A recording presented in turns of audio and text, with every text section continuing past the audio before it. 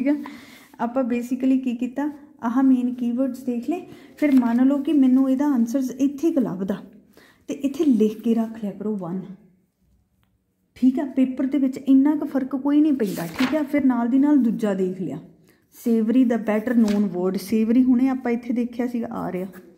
ਦੂਜਾ। ਇੱਕ ਇੱਕ ਸੈਕਿੰਡ ਹੀ ਲੱਗਦਾ, ਕੋਈ ਬਾਲਾ ਟਾਈਮ ਨਹੀਂ ਲੱਗਦਾ। ਜੇ ਤੁਸੀਂ ਥੋੜਾ ਅਟੈਂਟਿਵ ਹੋ ਕੇ ਰੀਡਿੰਗ ਕਰੋ। ਠੀਕ ਹੈ? ਸੋ ਇੱਕ ਵਾਰੀ ਜਦੋਂ ਆਪਾਂ ਸਕਿਮਿੰਗ ਕਰ ਲਈ, ਫਿਰ ਦੂਜੇ ਨੰਬਰ ਤੇ ਕੀ ਕਰਨਾ ਹੈ ਉਹਦਾ?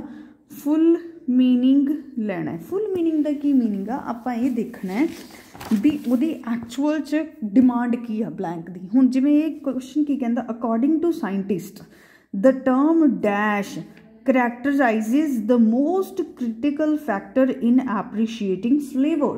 ਮਤਲਬ ਕਹਿੰਦੇ ਜਿਹੜੀ ਅਕੋਰਡਿੰਗ ਟੂ ਟਰਮ ਕੋਈ ਟਰਮ ਆ, the ਟਰਮ ਡੈਸ਼ ਟਰਮ ਦਾ ਨਾਮ ਮੇਨ ਟਰਮ ਹੋਊਗਾ ਇਹਦਾ ਆਨਸਰ ਕੁਛ ਨਾ ਕੁਛ ਵਧੀਆ ਜਿਹਾ ਹੋਊਗਾ ਨਾਉਨ ਹੋਊਗਾ, ਉਹ ਕੀ ਕਰੈਕਟਰਾਈਜ਼ਡ ਕਰਦੀ ਹੈ ਕਿ ਮੋਸਟ ਕ੍ਰੂਸ਼ੀਅਲ ਫੈਕਟਰ ਕੀ ਹੈ, ਕੀ ਇਹਦਾ ਆਨਸਰ ਆ? ਵਟ ਸਾਇੰਟਿਸਟ call ਆ ਰੈਟਰੋਨੋਸਨਲ ਸਮੈਲ ਸੋ ਕਲੀਅਰਲੀ ਉਹਨਾਂ ਨੇ ਵੀ ਬੜਾ ਕਲੀਅਰਲੀ ਲਿਖਿਆ ਸੋ ਆਪਾਂ ਨੂੰ 1 ਸੈਕਿੰਡ ਦੇ ਵਿੱਚ ਆਨਸਰ ਲੱਭ ਜਾਂਦਾ ਠੀਕ ਹੈ? ਸੋ ਜਦੋਂ ਵੀ ਬਲੈਂਕਸ ਕਰਨੀਆਂ ਨੇ ਬਲੈਂਕਸ ਦੇ ਵਿੱਚ ਆਪਾਂ ਪਹਿਲੀ ਇਹੀ ਕਰਦੇ ਆ ਆ ਹੋ ਗਈਆਂ ਮੇਨ ਸਕਿੱਲਸ ਹੁਣ ਆਪਾਂ ਜਾਣਦੇ ਆ ਟਾਈਪਸ ਦੇ ਉੱਤੇ। ਟਾਈਪਸ ਦੇ ਵਿੱਚ ਫਸਟ ਟਾਈਪ ਕੀ ਹੋਗੀ ਤੁਹਾਡੀਆਂ? ਫਿਲਪਸ ਫਿਲਪਸ ਦੀ ਹਮੇਸ਼ਾ ਇੱਕ ਟ੍ਰਿਕ ਯਾਦ ਰੱਖਿਓ। ਇਹਦੇ ਅਗਲੇ ਤਿੰਨ ਵਰਡਸ ਬਲੈਂਕ ਤੋਂ ਤਿੰਨ ਵਰਡਸ ਠੀਕ ਹੈ? ਬਿਫੋਰ ਵਾਲੇ ਤੇ ਆਫਟਰ ਵਾਲੇ ਇੰਪੋਰਟੈਂਟ ਹੁੰਦੇ ਆ। ਉਹ ਤਿੰਨ ਵਰਡਸ ਜਿਹੜੇ ਆ ਮੰਨ ਲਓ ਆਹ ਬਲੈਂਕ ਆ ਤੇ 1 2 3 1 2 3 ਆਹ ਬਲੈਂਕ ਲੱਭਣੀ ਆਪਾਂ। ਇਹ ਵਾਲੇ ਤਿੰਨ ਵਰਡ ਜਾਂ ਇਹ ਵਾਲੇ ਤਿੰਨ ਵਰਡ ਤੁਹਾਨੂੰ ਡਾਇਰੈਕਟ ਵੀ ਵਰਡ ਮਿਲ ਸਕਦਾ। ਜੇ ਡਾਇਰੈਕਟ ਨਹੀਂ ਤੇ ਤੁਹਾਨੂੰ ਸਿਨੋਨਮ ਤੇ ਮਿਲੂਗਾ ਹੀ ਮਿਲੂਗਾ। ਜਿਵੇਂ ਆਪਾਂ ਹੁਣੇ ਆ ਡਿਸਕਸ ਕਰਕੇ ਹਟੇ ਸੀਗੇ ਇੱਕ। ਕਿਹੜਾ ਕੀਤਾ ਸੀਗਾ? ਆਹ ਇੱਥੇ ਸੀਗਾ ਇੰਜੋਇਮੈਂਟ ਇੱਥੇ ਕੀ ਆ ਗਿਆ? ਪਲੇਜ਼ਰ ਕਿੱਥੇ ਗਿਆ? ਇੰਜੋਇਮੈਂਟ ਆ ਗਿਆ। ਸਮਥਿੰਗ ਆ ਰਿਹਾ ਪਲੇਜ਼ਰਸ ਆਫ ਸੋਸ਼ਲ ਲਾਈਫ ਠੀਕ ਹੈ? ਸੋ ਇਸ ਚੀਜ਼ ਦਾ ਧਿਆਨ ਰੱਖਣਾ ਬਲੈਂਕ ਤੋਂ ਪਹਿਲੇ ਤਿੰਨ ਤੇ ਬਲੈਂਕ ਤੋਂ ਬਾਅਦ ਵਾਲੇ ਤਿੰਨ ਵਰਡ ਇਹਨਾਂ ਦੇ ਵਿੱਚ ਹੋਰ ਜ਼ਿਆਦਾ ਇੰਪੋਰਟੈਂਟ ਵਰਡ ਕਿਹੜੇ ਆਉਂਦੇ ਆ? A an the be third form ਵਾਲਾ ਕੁਝ ਪਤਾ ਲੱਗ ਜੇ ਤੁਹਾਨੂੰ ਵੀ ਇਹਦਾ ਮਤਲਬ ਇੱਥੇ ਅੱਗੇ ਬੀ ਤੋਂ ਬਾਅਦ ਬਲੈਂਕ ਤੇ ਤਾਂ ਮਤਲਬ ਇੱਥੇ ਥਰਡ ਫਾਰਮ ਆਊਗੀ, ਮਤਲਬ ਇੱਥੇ ਕੀ ਆਊਗੀ? ਵਰਬ ਆਊਗੀ। ਠੀਕ ਆ? ਹੁਣ ਪਹਿਲੇ ਚ ਨਾਉਨ ਆਇਆ ਮੇਨ ਠੀਕ ਹੈ? ਸੋ ਇਹ ਚੀਜ਼ਾਂ ਕਿਤੇ ਨਾ ਕਿਤੇ ਜੇ ਤੁਹਾਨੂੰ ਥੋੜਾ ਜਿਹਾ ਵੀ ਮਤਲਬ ਆਪਾਂ ਕਹੀਏ ਕਿ 10% ਆਪਾਂ ਨੂੰ ਇਹ ਪਤਾ ਹੋਵੇ ਵਰਬਸ ਕੀ ਹੁੰਦੇ ਨਾਉਨਸ ਕੀ ਹੁੰਦੇ ਐਡਜੈਕਟਿਵਸ ਕੀ ਹੁੰਦੀਆਂ ਐਡਵਰਬਸ ਕੀ ਹੁੰਦੀਆਂ, ਆਪਾਂ ਨੂੰ ਹੈਲਪ ਹੋ ਜਾਂਦੀ ਹੈ ਤਾਂ ਹੀ ਜੇ ਕਿਸੇ ਦੇ ਗੁੱਡ ਨੰਬਰ ਨਾ ਵੀ ਹੋਣ ਤੇ ਲਿਸਨਿੰਗ ਰੀਡਿੰਗ ਚ ਬੈਂਡ 9 ਆ ਜਾਂਦੇ ਆ ਜਵਾਕਾਂ ਦੇ। ਰੀਡਿੰਗ ਚ ਤੇ ਬਾਹਲੇ ਸੌਖੇ ਆ, ਠੀਕ ਆ? ਸੋ ਨੈਕਸਟ ਟਾਈਪ ਆਪਣੀ ਆ ਗਈ, ਹੁਣ ਦੇਖੋ ਬਲੈਂਕਸ ਦੇ ਵਿੱਚ ਇੱਕ ਤੇ ਆ ਨਾਰਮਲ ਬਲੈਂਕਸ ਹੁੰਦੀਆਂ ਨੇ, ਇਹ ਸਭ ਤੋਂ ਈਜ਼ੀ ਹੁੰਦਾ, ਸਭ ਤੋਂ ਸਕੋਰਿੰਗ ਪਾਰਟ ਆਪਣਾ, ਠੀਕ ਹੈ? ਇਹ ਵੀ ਜਿਹੜਾ ਹੈ, ਇਹ ਇਹ ਵੀ ਗੁੱਡ ਆ ਬਟ ਜਿੱਥੇ ਨੋਟਸ ਲਿਖਿਆ ਹੋਵੇ, ਇਹਦਾ ਮਤਲਬ ਇਹ ਸੀਕੁਐਂਸ 'ਚ ਹੋਊਗਾ। ਜਿੱਥੇ ਸਿੰਪਲ ਸੈਂਟੈਂਸ ਬਲੋ, ਇਹ ਵੀ ਸੀਕੁਐਂਸ 'ਚ ਹੋਊਗਾ। ਬਟ ਜਿੱਥੇ ਸਮਰੀ ਲਿਖਿਆ ਹੋਵੇ, ਜਾਂ ਲਿਖਿਆ ਹੋਵੇ ਫਲੋ ਚਾਰਟ ਉਹ ਕੀ ਹੋਊਗਾ? ਸਕਿਪ ਹੋ ਸਕਦਾ। ਉਹ ਸਕਿਪ ਵੀ ਕਰੂਗਾ ਬੈਕ ਵੀ ਮਾਰੂਗਾ। ਬੈਕ ਵੀ ਮੀਨਸ ਹੋ ਸਕਦਾ, ਪਹਿਲਾ ਆਨਸਰ ਆਪਾਂ ਨੂੰ ਲੱਭਿਆ ਹੋਵੇ ਇੱਥੋਂ ਦੂਜਾ ਆਨਸਰ ਆਪਾਂ ਨੂੰ ਲੱਭਿਆ ਹੋਵੇ ਇੱਥੋਂ ਤੀਜਾ ਫੇਰ ਪਹਿਲੇ ਦੇ ਅੱਗੇ ਪਿਆ ਹੋਵੇ ਚੌਥਾ ਕਿਤੇ ਤੇ ਹੋ ਸਕਦਾ। ਇਫ ਵੀ ਆਰ ਲੱਕੀ ਨਾ ਹੋ ਸਕਦਾ ਕਿ ਉਹ ਸੀਕੁਐਂਸ ਹੋਵੇ, ਬਸ ਇਹ ਕਿ ਦੂਰ ਦੂਰ ਹੋਵੇ, ਵੀ ਪਹਿਲਾ ਆਨਸਰ ਹੋਵੇ ਇੱਥੇ ਜਮਾ, ਦੂਜਾ ਸਾਰਾ ਛੱਡ ਕੇ ਫਿਰ ਐਂਡ ਜੀ ਤੇ ਸਾਰੇ ਹੋਣ। ਮਤਲਬ ਤੁਸੀਂ ਇਹ ਯਾਦ ਰੱਖਣਾ ਵੀ ਸਮਰੀ ਤੇ ਫਲੋ ਚਾਰਟ ਆ ਜਿੱਥੇ ਵਰਡ ਯੂਜ਼ ਹੋਇਆ ਹੋਊਗਾ, ਉਹ ਤੁਹਾਨੂੰ ਟੈਨਸ਼ਨ ਦੇ ਸਕਦਾ। ਬਸ ਫਲੋ ਚਾਰਟ ਦਾ ਸਭ ਤੋਂ ਵੱਡਾ ਬੈਨੀਫਿਟ ਕੀ ਆ ਕਿ ਕੀਵਰਡ ਹੁੰਦੇ ਆ। ਉਹ ਕੀਵਰਡਸ ਜੇ ਬਣੇ ਹੁੰਦੇ ਆਪਾਂ ਨੂੰ 1 ਸੈਕਿੰਡ ਚ ਲੋਕੇਸ਼ਨ ਪਰ ਸਮਰੀ ਦੇ ਵਿੱਚ ਨਹੀਂ ਲੱਭਦੀ ਕਿਉਂਕਿ ਉਹਨਾਂ ਨੇ ਐਡੇ ਵੱਡੇ ਪੈਸੇਜ ਨੂੰ ਇੱਕ 4-5 ਲਾਈਨਾਂ 'ਚ ਲਿਖਿਆ ਹੁੰਦਾ। ਉਹਦੇ ਵਿੱਚ ਕੀਵਰਡ ਲੱਭਣੇ ਬਹੁਤ ਔਖੇ ਆ, ਫਿਰ ਉਹ ਪ੍ਰੋਬਲਮੈਟਿਕ ਹੁੰਦਾ ਆਪਣੇ ਲਈ। ਗੈਟਿੰਗ ਇਟ ਸਮਝ ਲੱਗੀ? ਉਸ ਤੋਂ ਬਾਅਦ ਨੈਕਸਟ ਆ ਜਾਓ ਬੱਚੇ ਆਨਸਰਸ ਵਾਲੇ।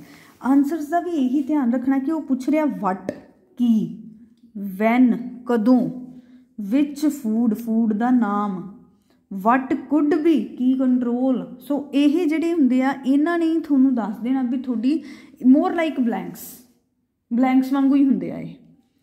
ਇਹਨਾਂ ਨੇ ਦੱਸ ਦੇਣਾ ਤੁਹਾਨੂੰ ਵੀ ਕਿੱਥੇ ਕੀ ਆ। ਸੋ ਇਸ ਚੀਜ਼ ਨੂੰ ਵੀ ਇਸ ਢੰਗ ਨਾਲ ਹੀ ਕਰਨਾ ਠੀਕ ਆ? ਓਕੇ ਨੈਕਸਟ ਆ ਗਿਆ ਬੱਚੇ। ਹੈਡਿੰਗਸ ਹੁਣ ਹੈਡਿੰਗਸ ਕੀ ਆ? ਵੀ ਇਹ ਹੈਡਿੰਗਸ ਮਤਲਬ ਹੈਡਕ ਠੀਕ ਹੈ?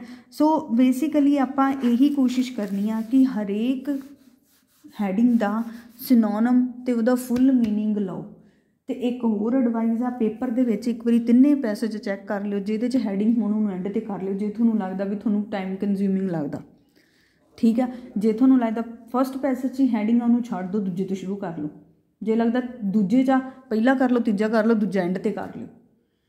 ਠੀਕ ਆ ਤੇ ਕਰਨਾ ਕਿਵੇਂ ਆ? ਦੂ- ਜੇ ਮੰਨ ਲਓ ਮੰਨ ਲਓ ਦੂਜੇ 'ਚ ਹੈਡਿੰਗਸ ਠੀਕ ਆ? ਤੇ ਪਹਿਲਾ ਕਰ ਲਿਆ, ਤੀਜਾ ਕਰ ਲਿਆ। ਉਹਨਾਂ ਨੂੰ ਉੱਥੇ ਹੀ ਚੈੱਕ ਕਰ ਲੈਣਾ ਪਹਿਲਾਂ, ਛੇਤੀ ਛੇਤੀ within a minute or two ਵਿੱਚੋਂ ਵਿੱਚ ਕੁਐਸਚਨ ਨੰਬਰ ਸੇਮ ਵੇਖ ਕੇ ਨਾ ਮੰਨ ਲਓ ਕਿ ਮੈਂ ਇਧਰੋਂ ਦੇਖ ਲਿਆ 4 ਇੱਥੇ 4 ਦਾ ਆਨਸਰ ਮੇਰੀ ਆ ਆਨਸਰ ਸ਼ੀਟ ਆ ਮੰਨ ਲਓ ਮੇਰੀ। 4 ਦਾ ਆਨਸਰ ਮੈਂ ਵੀ ਆਹੀ ਲਿਖਿਆ ਨਾ, ਇੱਥੇ ਵੀ ਲਿਖਿਆ ਸੀ, ਇੱਥੇ ਵੀ ਲਿਖਿਆ ਸੀ। ਠੀਕ ਹੈ ਉਹ ਮੈਚਿੰਗ ਕਰਕੇ, ਉਹਨੂੰ ਡਨ ਕਰਕੇ ਕਲੋਜ਼ ਕਰਕੇ, ਫਿਰ ਆ ਜਾਓ ਇਹਦੇ ਤੇ।